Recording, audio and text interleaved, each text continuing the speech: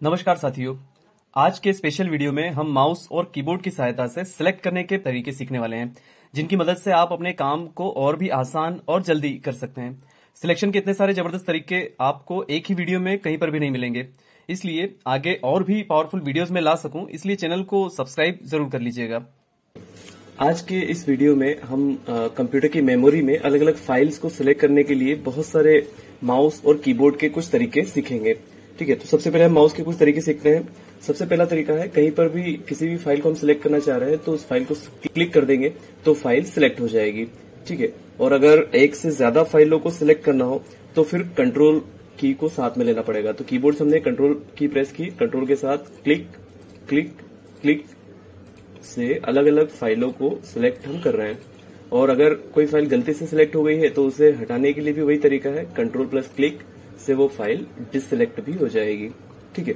तो अलग अलग एरिया की कुछ फाइलों को सिलेक्ट करने का तरीका है। कंट्रोल प्लस क्लिक से सिलेक्ट भी होगी और कंट्रोल प्लस क्लिक से डिसलेक्ट भी हो जाएगी।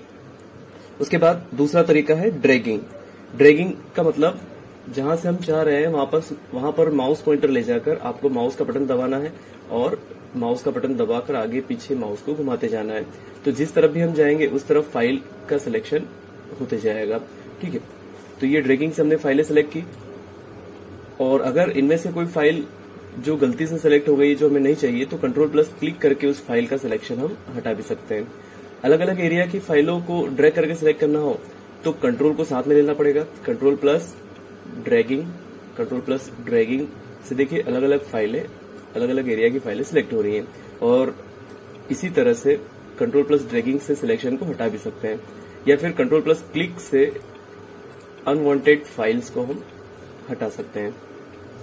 इसके बाद सिलेक्ट करने का अगला तरीका है शिफ्ट प्लस क्लिक मतलब किसी एक फ़ाइल पर हमने क्लिक किया है और शिफ्ट को दबाकर रखेंगे और उसके बाद अगली किसी फ़ाइल को सिलेक्ट करेंगे तो वहाँ तक की सारी फाइलें सिलेक्ट हो जाएगी। ये देखिए शिफ्ट बटन को साथ में आपको दबाकर रखना है। ठीक है, फिर से करते हैं। किसी एक फ़ाइल को हमने सिलेक्ट किया और शिफ्ट के साथ अगली फ़ाइल पर क्लिक किया तो दोनों फाइलों के बीच की सारी फाइलें सिलेक्ट हो जाएँगे।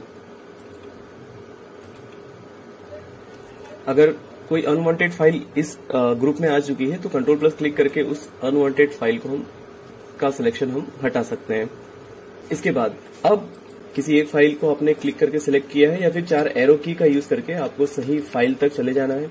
उसके बाद शिफ्ट बटन के साथ में चार एरो की तो अगर डाउन एरो की करते हैं तो एक एक फ़ाइल नीचे सेलेक्ट होगी अप एरो से सिलेक्शन हटेगा, या फिर दूसरी तरफ़ सिलेक्ट होती जाएगी। इसी प्रकार राइट एरो करेंगे तो राइट राइट में फाइलें सिलेक्ट होती जाएँगी और लेफ़्ट एरो से सिलेक्शन हटता भी जाएगा। ठीक है? उसके बाद अगर कंट्रोल की को साथ में ले लेते हैं मतलब control plus shift plus down arrow की का यूज़ करेंगे तो डाउन में सिलेक्ट होती जाएगी। अप एरो का यूज़ करेंगे तो आप सिलेक्शन हटेगा नहीं, बल्कि दूसरी तरफ़ भी सिलेक्ट हम कर सकते हैं।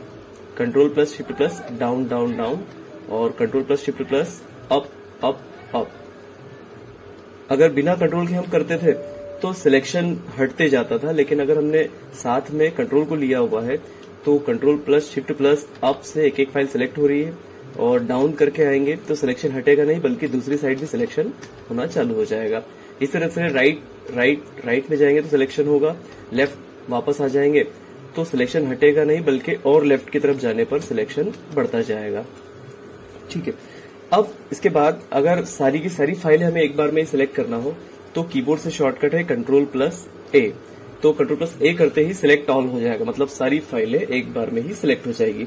यही काम करने का दूसरा तरीका है। सबसे ऊपर फ़ाइल एडिट व्यू इत्यादि मीनू आपको दिखाई दे रहे हैं। तो हमें एडिट मीनू में जाना है और यहाँ पर आपको मिलेगा सिलेक्ट ऑल सिलेक्ट ऑल पर क्लिक करते ही सारी फाइलें सिलेक्ट हो जाएँगी। सिलेक्ट करने के बाद में जो भी इनके साथ ऑपरेशन हमें करना है कट कॉपी पेस्ट डिलीट करना या जो भी ऑपरेशन हम करना चाह रहे हैं, कर सकते हैं। तो साथियों, उम्मीद है आज के वीडियो में आपने कंप्यूटर के ज़बरदस्त ऑपरेशन सीखे होंगे। आगे भी ऐसे ही ज़बरदस्त वीडियोस आते रहेंगे, लेकिन आप सबके सपोर्ट की ज़रूरत है। इसलिए Gyan booster computer Shala channel को सब्सक्राइब ज़रूर कर लें, तथा समय पर नोटिफिकेशन पाने के लिए बेल को भी एक्टिव कर लें। धन्यवाद।